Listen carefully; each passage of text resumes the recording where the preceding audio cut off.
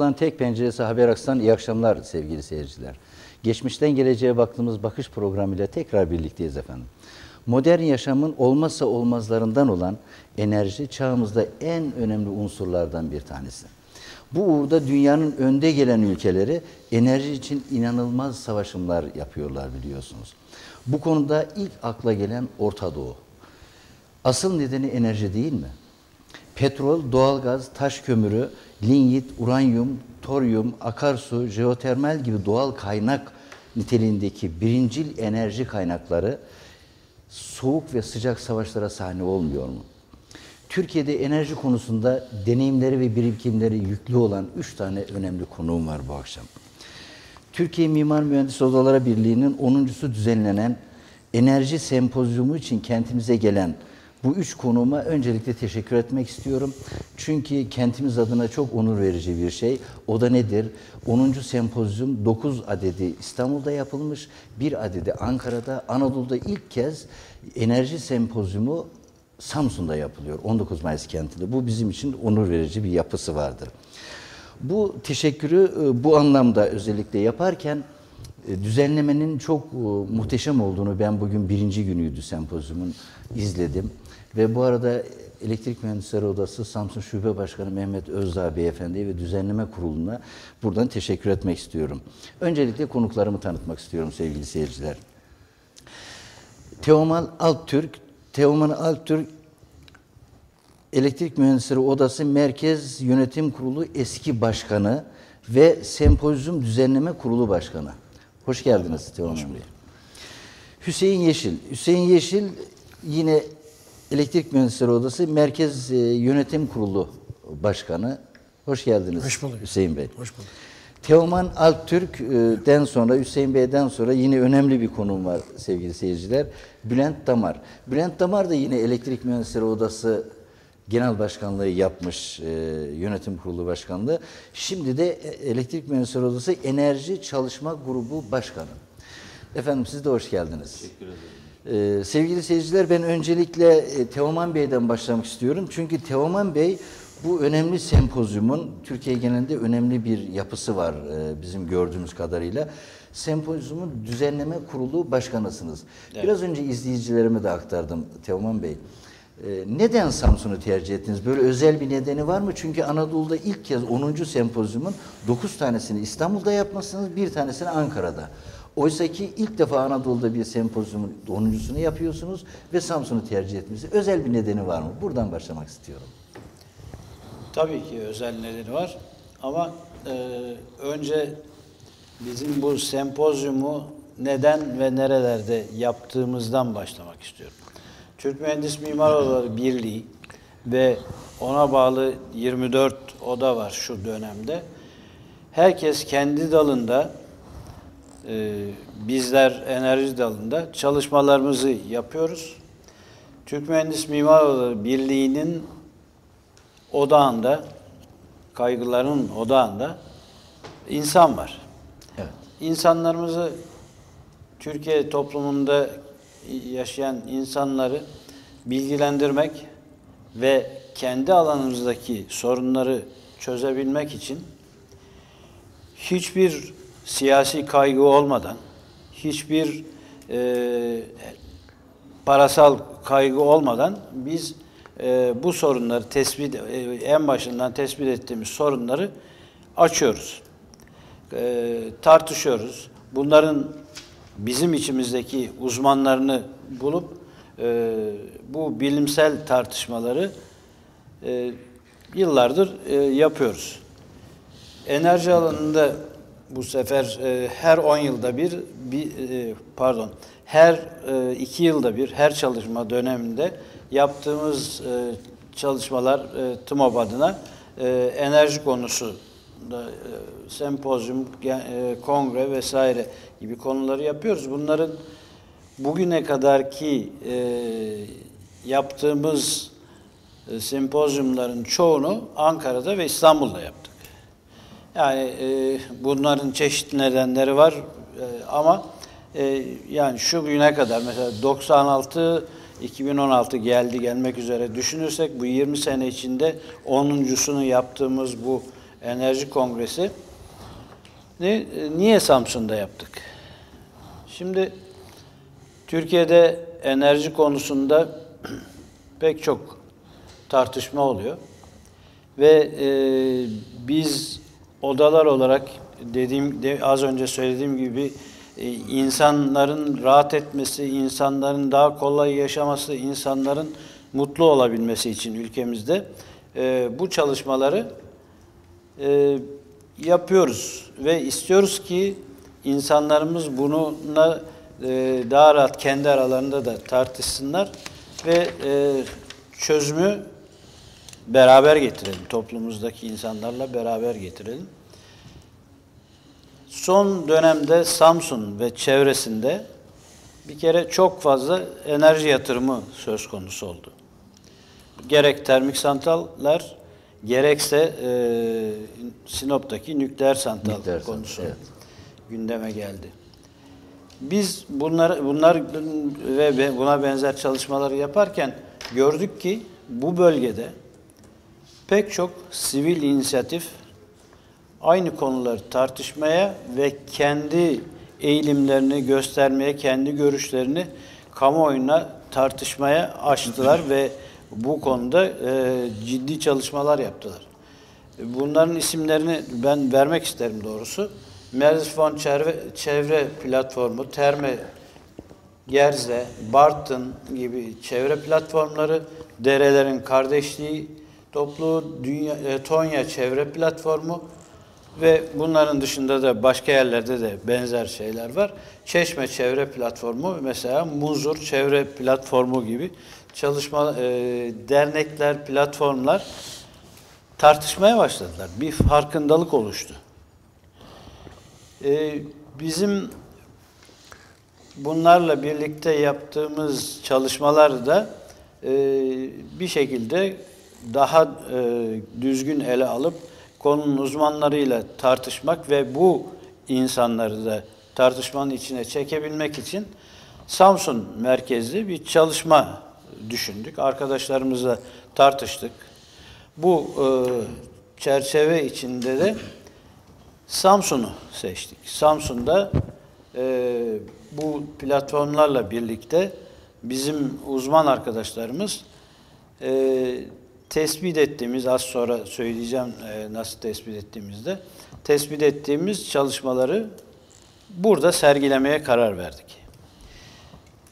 Enerji alanında var olan sorunların ve çözüm önerilerinin tartışıldığı, alanın tüm bileşenlerinin kendini ifade edebileceği bir zemin yaratmak, Türk Mühendis Mimar Odaları Birliği Enerji Sempozyumu'nun genel hedefi haline gelmiştir. Bu sempozyumun hazırlık sürecinde de enerjiyle ilgili olarak dünyada ve ülkemizde yaşanan tüm gelişmeler dikkate alınıyor. Bu sempozyumun ana teması ve alt başlıklarını belirliyoruz. Sempozyumun yeri de az önce söylediğim gibi e, kendi içimizdeki tartışmalardan sonra Samsun'da olması kararlaştırıldı. Ve bu seneki konumuz kendi içimizde e, tespit ettiğimiz, bugün de başlattığımız e, bilimsel toplantıda enerjide toplumsal yarar ve kamusallık. Bunu seçerken de e, bu yerel inisiyatiflerin çalışmalarını da göz önünde bulundurduk ve bunun tartışılıp biraz daha açılmasını e, istedik. Enerjinin özelleştirme ve piyasalaştırma sürecinin ardından toplumun karşı karşıya kaldığı çeşitli sorunlar var. Bunları irdeliyoruz. Program çerçevesinde Soma kömür madeni kazasından nükleer santrallara, enerji yoksulluğundan enerjide toplum yararına ilişkin tüm konuları e, bugün e, başladık, ele alıyoruz ve sonuçlarını da kamuoyuna e, açıklayacağız, yayınlayacağız bunları. E, Teoman Bey çok teşekkür ederim. Ben zamanı iyi kullanabilme açısından e, Sempozyumun Düzenleme Kurulu Başkanı olarak e, o açıklamanız için teşekkür ederim. Tabii bizim asıl ana konumuz bir saate böyle üç tane e, ciddi uzman, Türkiye'de ses yapmış uzmanı Evet. bir saate sığdırmak e, ana başlığın özeti gibi olur. O anlamda ben e, müsaade ederseniz e, sevgili Bülent Bey'e geçmek istiyorum. Bülent Bey, e, enerji çağımızda çok önemli bir unsur dedik. Oysa Türkiye birçok doğal kaynağa sahip olmasına rağmen e, dışarıdan müdahalelerin olduğu söyleniyor bir takım uzmanlar tarafından. Nedir bu müdahaleler? Özelleştirme sürecinde özellikle Avrupa Birliği'ne uyum yasaları çerçevesinde biz yasalar çıkartıldı biliyorsunuz. Ve özelleştirme sürecinden sonra e, dışa bağımlılık arttı deniyor. Bu konuda ne dersiniz? Teşekkür ederim. Enerjide dışa bağımlılık çok önemli. Özellikle günümüzde şu anda çok gündemde e, doğalgazla ilgili özellikle Rusya ile Türkiye arasındaki uçak düşürme olayından sonraki krizden e, sonra enerjinin çok daha e, yapısal e, değerlerin önemli olduğu gündeme geldi. Tabii o konuya da geleceğiz ama dışa bağımlılık konusundaki görüşlerinizi alabilirim. Teşekkür ederim. Bu çok önemli soruyu bana sorduğunuz için çok teşekkür ediyorum. Burada buna cevap vermekten mutlu olurum. Şimdi Türkiye'de elektrik enerjisi sonuç itibariyle Türkiye'ye lazım olan, insanların kullandığı kullanmak zorunda olduğu bir enerji şey, e, tipi. Bu elektrik enerjisinin en önemli özelliklerinden bir tanesi elektrik enerjisi depolanabilir bir şey değil. Üretildiği anda tüketilmesi gereken yani e, ticari dilde söylerseniz üretimin, müş- üreticinin müşterisinin hazır olması gereken bir enerji tipi. Dolayısıyla bunun böyle olması, bunun planlanacak, planlanması gereken bir üretim tipi olmasını gösteriyor. Yani enerjiyi üretip bir tarafa koyup gerekli olduğunda müşteriye sunamıyorsunuz.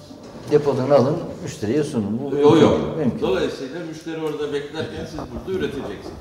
Şimdi böyle olması e, hiç kimse şöyle bir yatırım yapmak istemez. Satamayacağı bir malı e, üretmesi için bir yatırım yapmak istemeyeceği için bir Evet. e, yatırım planlı bir yatırım şeklinde olması gerekiyor. Şimdi Türkiye geçmiş yıllarda çok aşırı hızla elektrik enerjisine ihtiyaç hisseden bir ülkeydi. Bu elektrik enerjisine ihtiyaç hisseden bir ülke olduğu zaman e, bir an önce elektriği sağlamak için pek fazla plana programa bakılmadan kısa zamanda çok enerji elde edilebilmesini sağlayacak bir e, durum yaratabilmek için plansız, programsız e, Evet. yatırımlar yapıldı. Şimdi bu yatırımlar yapılırken de o zamanlar gerek bizim odamızın gerek e, başka e, bir takım uzmanların uyarılarına rağmen kaynak seçiminde, birincil kaynak seçiminde çok fazla e, planlama yapılıp ilerisi için bakılmadı. Bugün Türkiye'de o kadar garip bir durum var ki e, Türkiye elektrik enerjisinin yüzde 63 buçuğunu e, birinci kaynağını yüzde 63 buçuğunun birinci kaynağını yurt dışından sağlıyor. Evet. Ee, ben özür dilerim. Genelde konuklarımın sözünü kesmem ama ben burada e, Hüseyin Bey'e geçmek istiyorum. Hüseyin Bey, bugün sizin açılış konuşmanızda çok önemli bir e, konuşmaydı benim için. Ben izledim sonuna kadar. Orada diyorsunuz ki e, nükleer sant- santral çılgınlıktır. Bir paragrafın bir özetidir. Neden e, nükleer santral çılgınlıktır? Bu kadar e, önemli donanımlı uzmanların e, birikimiyle oluşturulan nükleer sa- santraller neden çılgınlıktır? Şimdi teşekkür ederim. Ee, biliyorsunuz en son kaza Fukushima, Japonya'da yapıl- oldu. Evet. Ee, daha önce işte e, Çernobil'de ve diğer ülkelerde çeşitli kazalar meydana geldi. Ama artık dünya bu işten vazgeçerken, örneğin Almanya işte 9 tane santralini kapattı. İsviçre kapatmaya başladı. Çok da söylenen bütün elektriğin %75'ini nükleerden elde ediyor denen Fransa bile bir yasa çıkararak belli bir e, oranda, belli bir e, süre zarfında bunu %50'ye falan düşürecek ve giderek daha da düşürecek. Bütün bunlar ortadayken bizimle hiçbir şey olmayan, yani bizim hiçbir katkımız, katkısı olmayan, katkımız olmayan her şeyle dışa bağımlı, yakıtıyla, hatta yapımıyla, inşaatın yapımıyla, e, işte arazi sadece arazi tahsis ettik biz onlara.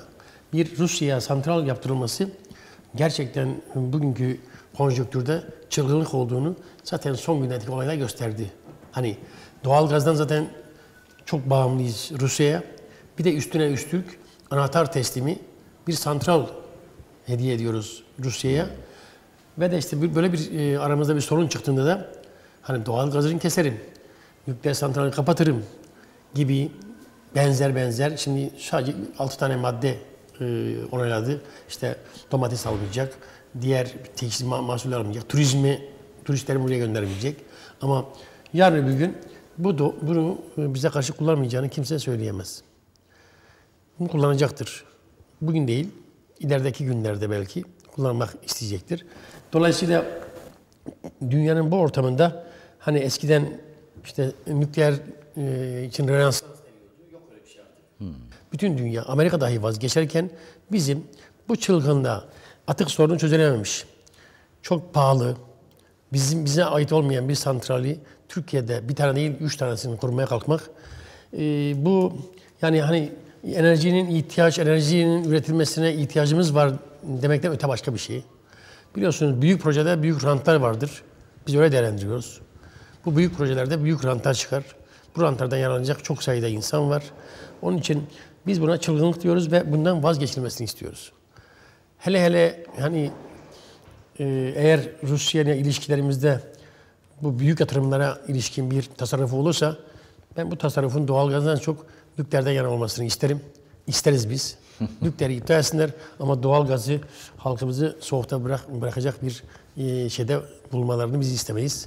Dolayısıyla bu bir çılgınlık evet. Bu çılgınlığı yapmalarını Vazgeçilmez ama bir türlü. Evet. ne yazık ki vazgeçilemiyor. Şimdi Samsun'da çok enteresan bir olay gelişimi e, cereyan etmişti. E, bir gün e, bir yazıda e, e, Samsun'da iki tane önemli ova var. Türkiye'nin en önemli ovalarından bir tanesi. Ve bu ovaların dünyanın en verimlilik açısından, dünyanın en verimli ovalarının başında geldiğini okuduğum zaman Ziraat Ministeri odasına aramıştım. O zaman başkanla görüştüm. Evet öyle dedi. Ve biz bugün ne yaptık biliyor musunuz? Ve o ovanın üzerine biz getirdik sanayi sitelerini koyduk. Havaalanı yaptık bilmem ne. Yani şimdi nükleerde de öyle. Uzmanlar diyorlar ki 5 yılda 50 kilometre, 10 yılda 70 kilometrelik alanda canlıları tahrip eder diyorlar. İnsan, hayvan ve bitkiyi. Biz buna rağmen yine eğilimimiz e, nükleerden yana. Tabii bu dışa bağımlı konusunda Teoman Bey'in görüşü de çok önemli. Önemli e, olduğunu izleyicilerime aktarabilme açısından. Dışa bağımlılıktan biz neden vazgeçemiyoruz? Enerjide. Türkiye çok önemli bir ülke dedik. Coğrafi alanda çok önemli bir yapıya sahip. E, enerji üretimi, doğal kaynaklar e, konusunda da çok zenginiz. Ama biz ne hikmetse enerjide dışa bağımlılığımızı bir türlü vazgeçemedik. Bunun nedenleri birçok nedeni var ama özetle ne söylemek istersiniz? Benim bu konuda e, söylemek istediğim izlenen enerji politikalarının yanlışlığıdır. Yanlış enerji politikaları. E, yani siz ülkenizde kullanılacak olan e, elektrik enerjisini e, tüketimi diyelim doğru tahmin ederseniz ve bu tüketimin neyle karşılanacağını e, doğru saptarsanız o zaman dışa bağımlılığı azaltabilirsiniz. Ta- belki tamamen e, vazgeçmek mümkün olmayabilir dışa bağımlı e, yakıtlardan veya e, teknolojilerden. Ama e, bunu minimumda tutmak da bizim ülkemiz yöneticilerinin elindedir. Biz e, mesela bugünkü şeyde e, siz var mıydınız, dikkat ettiniz mi bilmiyorum. Bir hocamız e, şey anlatırken e, tüke- tüketime geldi ve Türkiye'de 2023'e kadar dördüncü demir çelik fabrikasının kurulacağını ifade etti. Demir çelikte bir kere elektrik enerjisi çok yoğun kullanılır. Bunu nasıl karşılayacaksınız?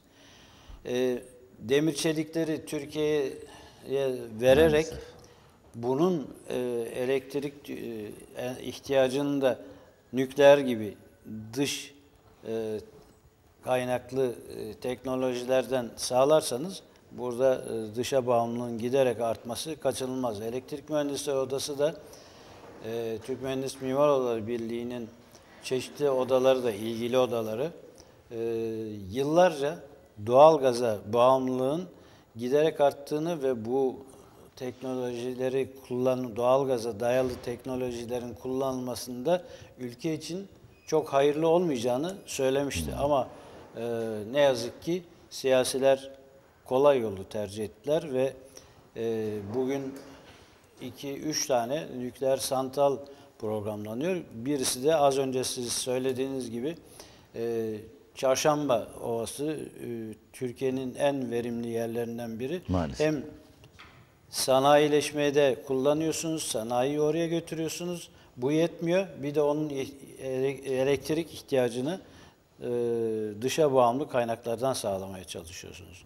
Bu e, çok yanlış bir şey. Çılgınlık bu. Çılgınlık sanıyorum. hem nasıl bir çılgınlık? Evet. Ee, Hüseyin arkadaşım e, daha söyledi. Yani bağırarak bunu söylemek lazım. Bu bir çılgınlık. Yani bu çılgınlığı e, aslında e, yöre halkı görmüş. Yöre halkı görmüş. Yarın e, onlarla da bir toplantı yapıyoruz. E, izlemenizi tavsiye ederim. Onların da bu konudaki görüşleri çok net e, bizlerle birlikte bu olaya karşı çıkacaklar. Evet. Ee, Bülent Bey ben e, özellikle gene size geçmek istiyorum. Biraz önce e, Sayın Genel Başkan'la siz e, yönetim kurulu başkanı diyorsunuz. Merkez Yönetim Kurulu Başkanı. Başkanıma geçmek istedim. Orada özellikle görüşünü almak için bu dışa bağımlılığı Türkiye omuzlarından atamaz mı?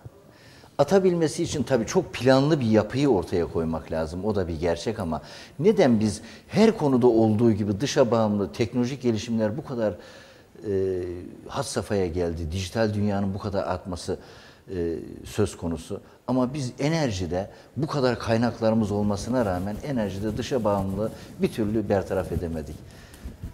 Şimdi ben bunu anlatmadan önce bu iki tane şu anda yapılmakta olan nükleer santralla ilgili size birkaç tane çarpıcı bilgi vermek istiyorum. Tabii buyurun. Şimdi e, öncelikle nükleer santrallerin bir e, en büyük negatif tarafı bu nükleer santrallerde bir kaza olduğu zaman ortaya çıkacak sonuçları e, gidermenin, bunları karşılamanın bir olanağı yok. E, 1986 yılındaki Çernobil santralında olan kazanın sonuçları hala yaşanıyor. 2011 yılındaki Fukushima'nın sonuçları hala yaşanıyor ve bunlar daha yıllar yılı sürecek. Yani bu e, santrallerin bir tehlikesi var. Bunlar tehlikeli. Bunun, bir kaza olması durumunda tehlikeli. Buna teknik dilde riski olan santrallar diyorlar. Ve riski çok yüksek olan santrallar. Şimdi ama Türkiye bu santralları yapmak istiyor. Niye yapmak istiyor? Yapmak için şunu söylüyor. Diyor ki benim elektriğe ihtiyacım var, başka türlü bunları karşılayamam. Bunu nasıl yapıyor? Bunu yaparken bir biraz önce anlatmaya çalıştığım gibi elektrik üretildiği anda tüketilmesi gereken şey olduğu için ileriki yıllara ait talepleri ne olacak tüketim gelecek yıllarda diye bir talep tahminler yapıyor. Ve bu talep tahminlerine göre de önüne tablolar koyuyor. İşte şu yıl şu kadar elektriğe ihtiyacım var. Onun için şu şu santrallerin yapılması lazım diyor. Ve geçmişte bu talep tahmin yapılan talep tahminlerde yüzde 35'lere kadar varan yanılgılar oluyordu. Bu nasıl yanılgılar oluyor? Mesela bir e, siyasi iktidar çıkıyor diyor ki biz her yıl yüzde yedi büyüyeceğiz. Elektrik tüketimini de buna göre her yıl yüzde yedi arttırıyorlar ve bu e, inanılmaz rakamlara ulaşıyor. E, fakat gerçekleşme böyle olmuyor. Şimdi bu çerçevede bizim elektriğe ihtiyacımız var deyip nükleer santral kararı aldılar. Şimdi bu nükleer santral kararı aldıktan sonra yani 2013 yılından sonra 2012 ve 2013 yıllarından sonra her nasılsa bu e, talep tahminleri düşmeye başladı. Şimdi 2012 yılıyla 2014 yılı talep tahminleri arasında 85 milyar kilowatt saat fark var. Bu 85 milyar kilowatt saatte Sinop ve e, Akkuyu nükleer santrallerin üreteceği enerjiden 10 milyar kilowatt saat daha fazla. Yani bundan şunu anlatmak istiyorum. Önce talebi yüksek gösterip ona göre nükleer santral kararı aldılar. Ondan sonra talepleri düşürdüler, normale getirdiler diyelim. Şimdi bu talebi bu şekilde normale getirdikleri zaman bir bakıyorsunuz. Diyorsunuz ki o talep şöyle 2023 yılında 2023 yılında plana göre Akkuyu santralının tamamı bitmiş olacak e, Sinop Santralı'nda birinci grubu devreye girmiş olacak. Devreye girmiş. Evet. Şimdi bu 2023 yılında şu andaki talep e, tahmin raporlarına göre 4 milyar e, 415 milyar kilowatt saat elektrik tüketecek Türkiye. Bu yıl ne kadar tüketiyor? E, geçen yıl 252 milyar kilowatt saat tüketti. İşte bu yılda aşağı yukarı 260 milyar kilowatt saat elektrik tüketeceği bekleniyor. Şimdi bir de bizim devletin bir başka kurumu var. Bu başka kurumun ismi de Enerji Piyasası Düzenleme Kurulu, EPDK. Bu da yeni yapılacak santrallar için e, lisans veriyor, ruhsat veriyor. Yani siz müracaat ediyorsunuz, ben şu santralı yapmak istiyorum diyorsunuz ve o santralları iznini veriyor. Bu şeyin e, EPDK'nın 2015 yılı başı itibariyle inşaatına başlanmış. Yani yapımı devam eden belli oranlarda yapılmış. Yüzde on yapılmış, yüzde on beş yapılmış, yüzde doksan beş yapılmış. Bu şekilde yapımı devam eden santralların üreteceği elektriğin toplamı 250 milyar kilowatt saat. E 250 milyar kilowatt saat şu anda yapılmakta olan santralınız var. Bunun yanında bir de 252 milyar, hadi 260 milyar da şeyiniz var. Ee, şu anda tükettiğiniz elektrik Tükettiğiniz var. enerji miktarı. İkisini birbirine toplarsanız zaten ne diyor? 510 milyar kilowatt saat. Şimdi sizin ihtiyacınız olan 415 milyar kilowatt saat. Zaten 100 milyar fazlanız var. E sizin niçin elektriğe ihtiyaç, nükleer santraldan gelecek elektriğe ihtiyacınız var? O zaman elektrik tüketimindeki planlama düzensiz. İlk mi ortaya? Abartılı. Abartılı. Düzensiz olmasının yanında abartılı ve belki de bir takım yatırımlar için e, gö- e, ikna etmek için kullanılan rakamlar durumuna geliyor. Yani biz bunlara manipüle edilmiş rakamlar diyoruz. Şimdi e, bu bu kadar e, ayan beyan ortada ve bu devletin kendi rakamlarıyla ortada. Şimdi tabii bu bir şey, bir gerekçe. Bir de başka bir gerekçesi var. E, nükleer santrallardan elde edilecek, niçin e, oradan elektrik elde etmek istersiniz? Ucuz olur belki diye. Nerede ucuz? Amerika'da ucuz. Başka yerlerde de ucuz. E, bize gelince bizde ucuz mu? Bir bakıyorsunuz Akkuyu'dan elde edilecek elektriğin 12.35 sente satın alacağız ve 15 yıl garantili satın alıyoruz. Üretilen enerjinin %50'sini devlet bu fiyattan satın almak zorunda. Sinop'ta yakıt hariç 10.80 sente Amerikan sentine yakıt aşağı yukarı 1 sent üstüne bindiriyor bunun 11.80 sente. O da 20 yıl boyunca alım garantili.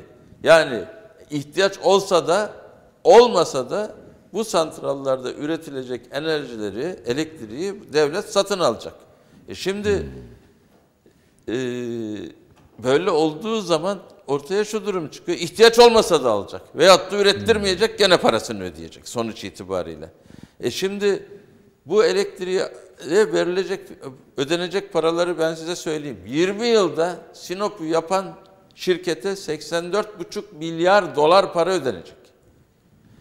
Üretimi el- yapacağı elektriği satın alırsa elektrik karşılığı almazsa öylesine ödenecek. 61,5 milyar dolar para Ruslara ödenecek. Akkuyu santralına ödenecek. Şimdi başkan çılgınlık diyor ya. ikisini birbirine toplayın 150 milyar dolar para ediyor. 150 milyar dolar para ne demek yani? Bu ağza alınması bile çılgınlık olan bir rakam. Dolayısıyla çılgınlık demek de haklıdır. Yani bu bu kadar pahalı bir yatırımdır bunlar. E şimdi ya bu peki peki bu üretilecek elektrik buradan hani alacağız ya ucuz mu? Bu soruyu da soruyoruz. Gene devletin kendisinin şeyi rakamı onlar yayınlıyor devlet bunu. Devletin bir kuruluşu var adı TETAŞ. Türkiye Elektrik Ticaret Anonim Şirketi diye bu elektriği alıyor ve satıyor. Şimdi bunun burada bunun, onun raporundan alınma, e, faaliyet raporundan alınma bir belge bu önümdeki. Bin- 2014 yılında 7.75 sente almış. Bakın 7.75 sente al- alış fiyatı bunun iki e, 2014 yılında. Bir de Akkuyu'yu hatırlayın 12.35 sent. E, şeyi hatırlayın Sinop'u hatırlayın 11.83 sent. Aradaki farklar %50'lere yaklaşıyor neredeyse. Ve %50 de daha pahalıya alıyorsunuz.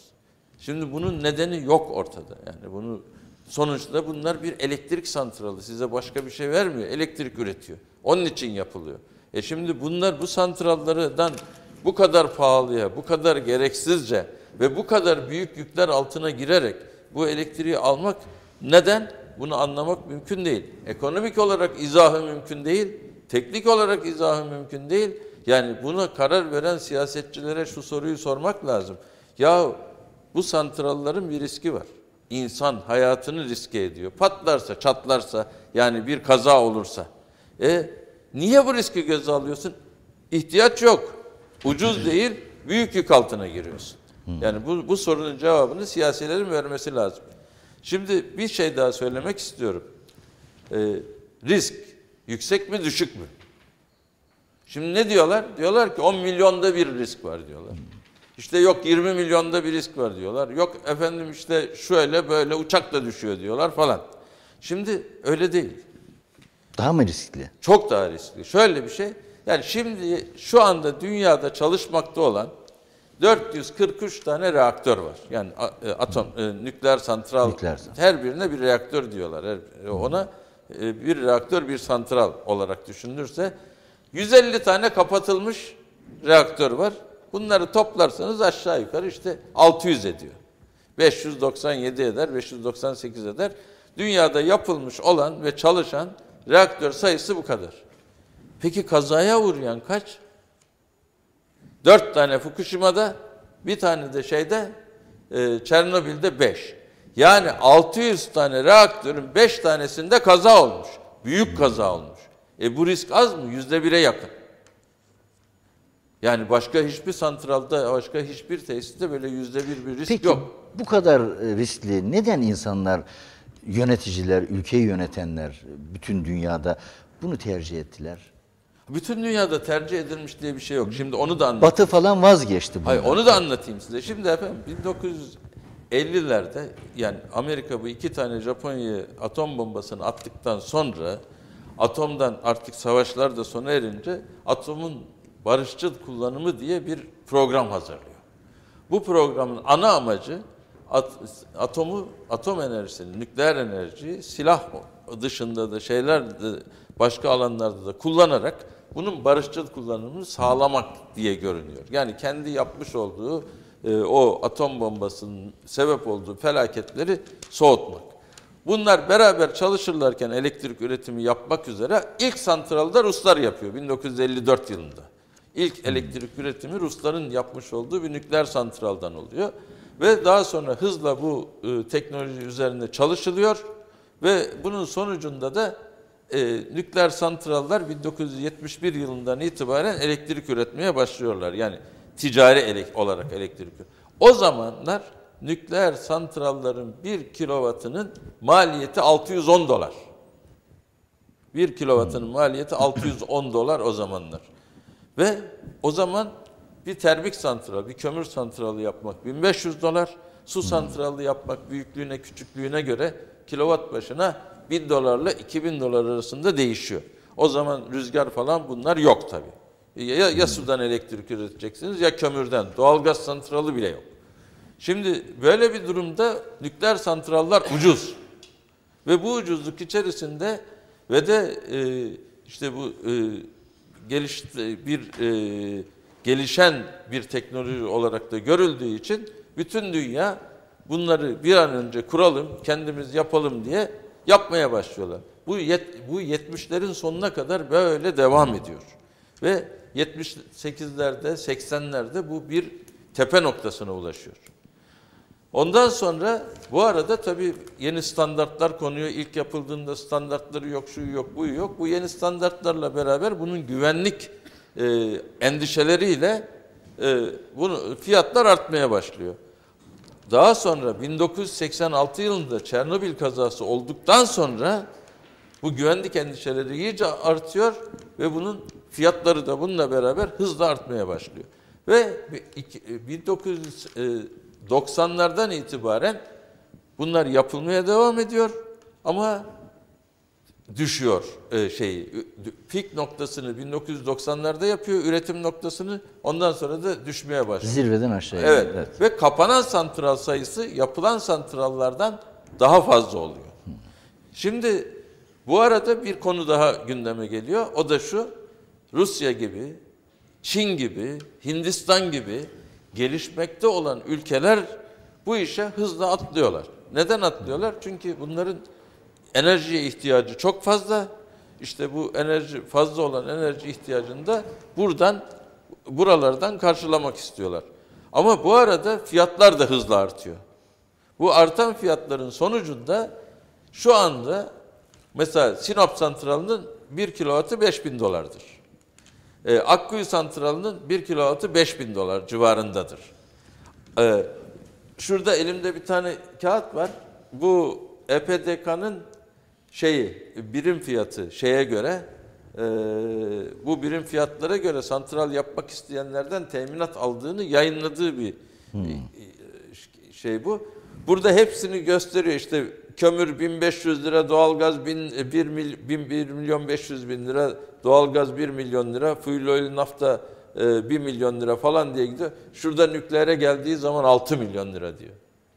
Şu anda nükleerin 1 kilowatt bedeli, 1 kilowatt yatırım bedeli en ucuz olacak şekilde mesela Kore kendine yaptığı zaman 2500 dolar, 3000 dolara mal ediyor. Dışarıda yaptığı zaman 5000 6000 dolara mal ediyor. Ama 5000 dolardır. En pahalısıdır yatırım şeyi olarak. Onun için de dünya bundan hızla vazgeçiyor. Şimdi şu anda yapılmakta olan e, inşa halindeki olan 64 tane e, reaktör var. Bu 64 reaktörün 51 tanesi Çin, Rusya ve Hindistan'da yapılıyor.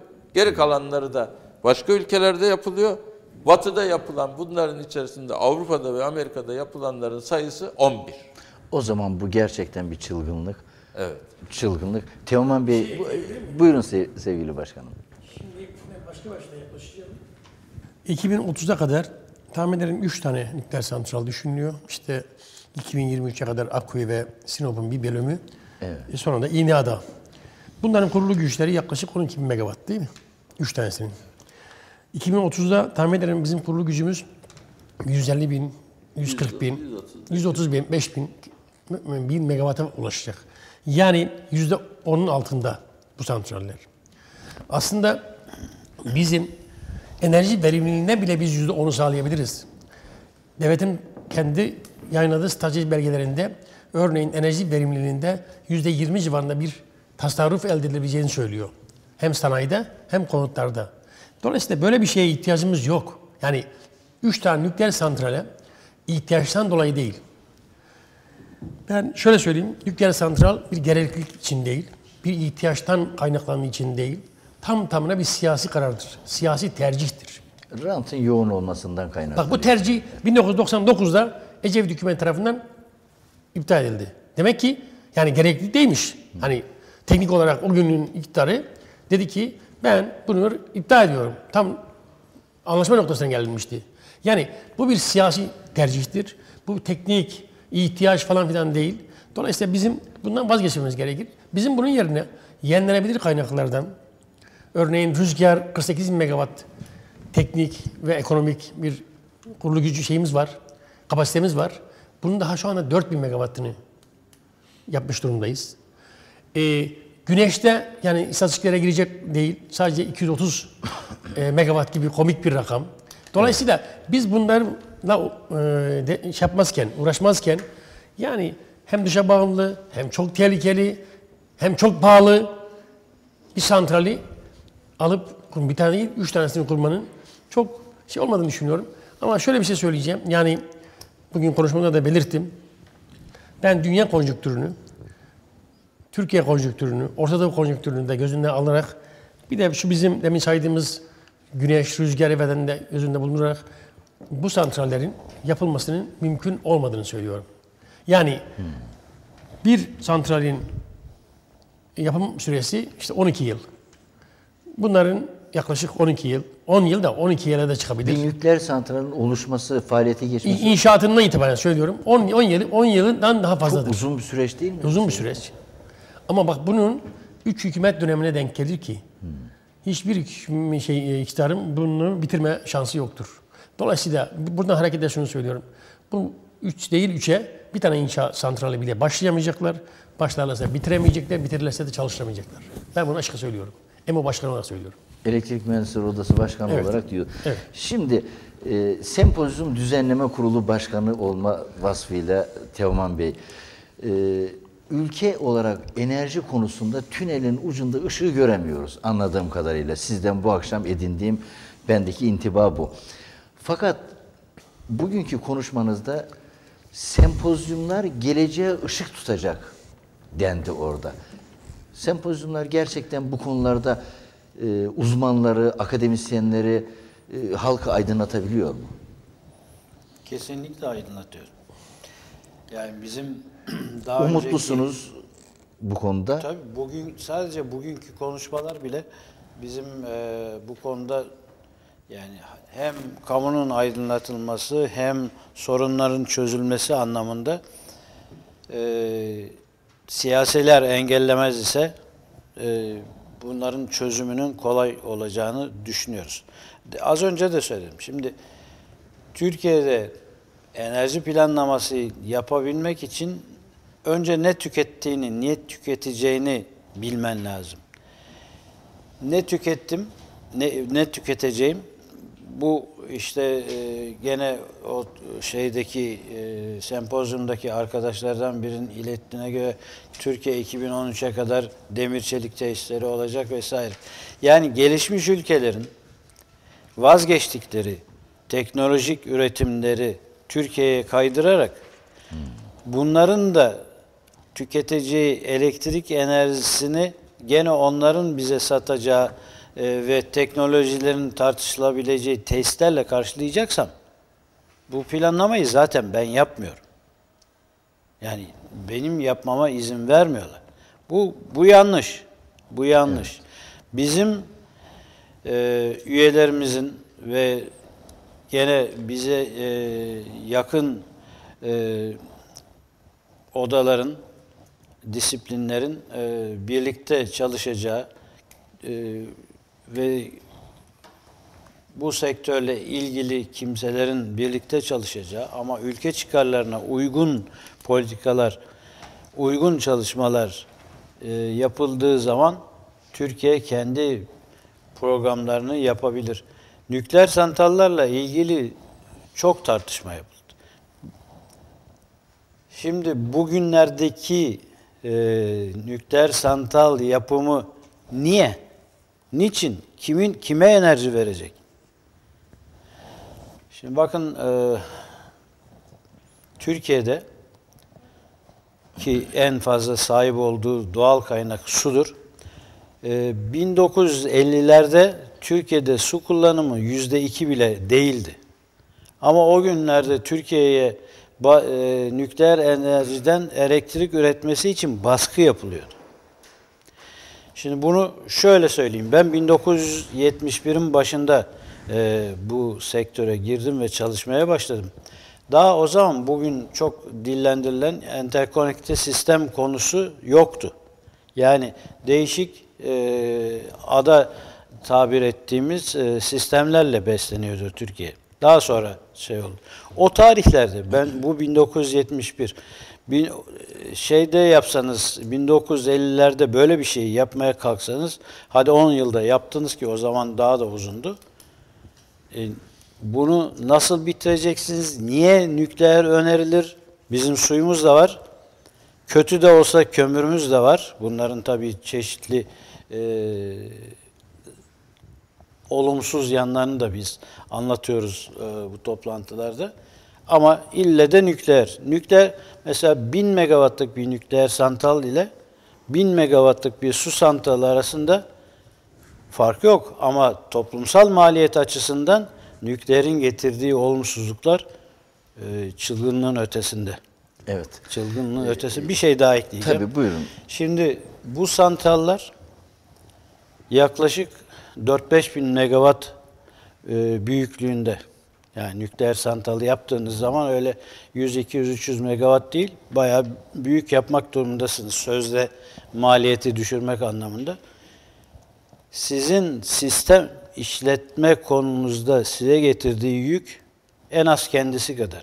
Çünkü 4000 megawattlık bir santralın enterkonekte sistemden çıktığı anda sizin o 4000 megawattı yerine koyabilmeniz lazım. Bu şu anda böyle bir imkanı yok Türkiye'nin. Geç, gelecekte de olmayacak.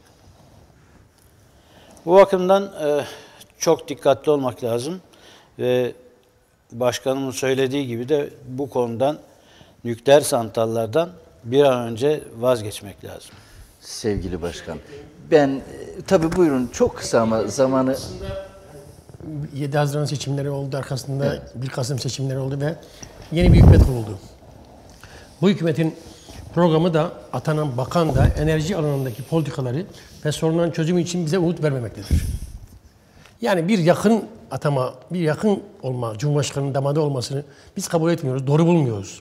Yani böyle bir kritik noktada böyle bir şeyin olmasını doğru bulmuyoruz.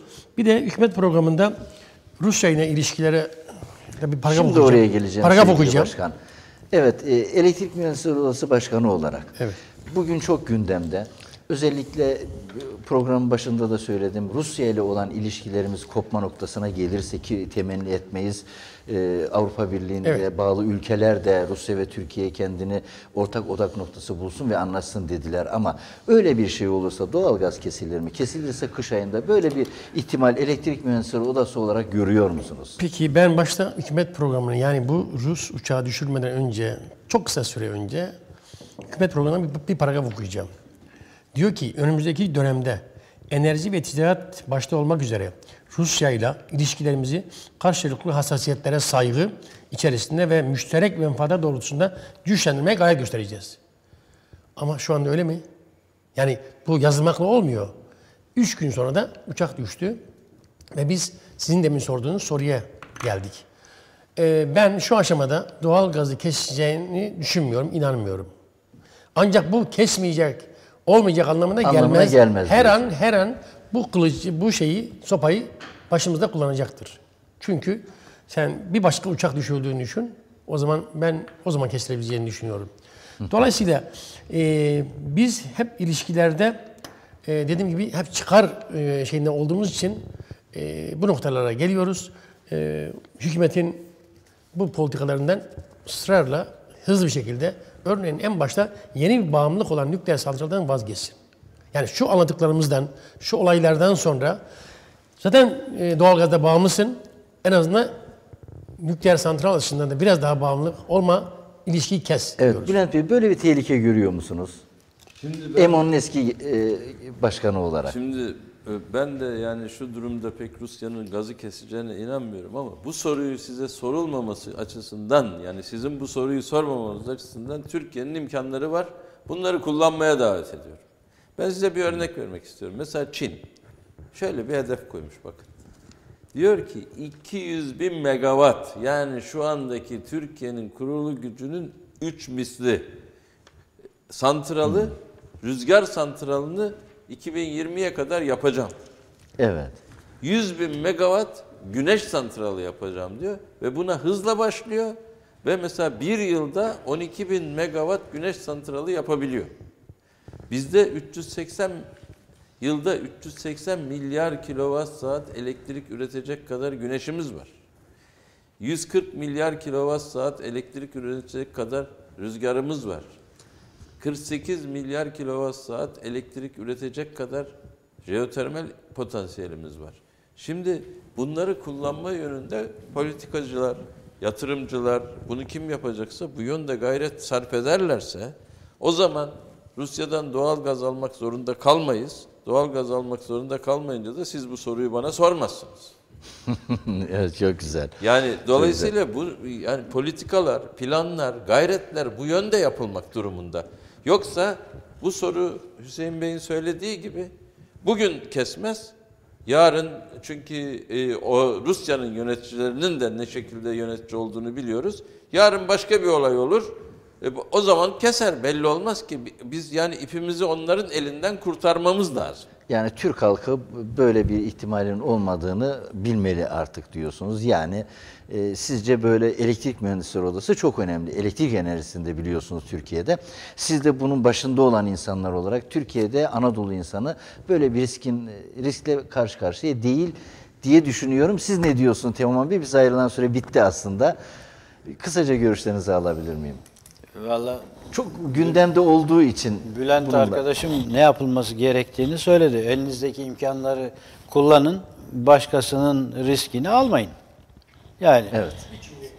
Buyurun sevgili başkanım. Ee, aslında bize hep bunları söylediğimiz zaman yani yıllardır doğal gaza bağımlı olmayın, bundan kurtulun dediğimizde bize muhalefet yapıyorsunuz diyorlar ki muhalefet yapmak da suç değil aslında. Ama umarım hele de bu Rusya krizinden sonra bizim söylediklerimize ya da bizim düzenlediğimiz konferansların, sempozyumlarda söylenenlere, akademisyenler, uzmanlar söylediklerine kulak kabartırlar diye düşünüyoruz. Bunu temenni ediyoruz. Teşekkür ediyorum. Ben teşekkür ederim özellikle programa katıldığınız için. Teoman Bey e, size, Hüseyin Yeşil, EMO Başkanı, Bülent Damar e, size çok teşekkür ediyorum. Onurlandırdınız. Özel iki gün daha Samsun'dasınız sevgili seyirciler. Ee, 10. e, to- e, Enerjide Toplumsal Yara ve Kamusallık adı altında 10. sempozyum için Türkiye Mimar Mühendis Odaları Birliği'nin Samsun'da düzenlediği seminer için, e, sempozyum için Samsun'a gelen 3 EMO'nun başkanını bir araya getirip bu akşam programa konuk ettik. Türkiye'de enerji çok önemli, dünyada enerji çok önemli. Özellikle çağımızda insanların e, teknolojik gelişimler ve yaşamsal giderlerinin birçok yanını destekleyen enerji bizim için çok önemli. Ama enerji Türkiye'de planlı bir politikayla götürülmediği ortaya çıktı. Tabii özetle biz e, konuyu masaya yatırmaya çalıştık. Bize ayrılan süre mucibince. E, önümüzdeki hafta bir başka konukla tekrar birlikte olmak dileğiyle iyi geceler diliyorum. Saygılar sunuyorum efendim. Evet sevgili başkanlarım çok teşekkür ederim. Evet biz